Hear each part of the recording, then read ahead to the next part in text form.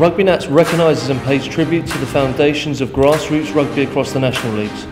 We'll be uploading our video content on a weekly basis via our social media platforms, bringing you coverage of clubs, a look behind the scenes and a scrummage into rugby culture. One, two, three, So everyone go out there now for each other, alright? Everyone that joins this club is family, alright? So we go out there and we play for each other, no matter what game it is, whether it's a friendly, whether it's a league game, whether it's a cup game, whatever it is, we all play for each other.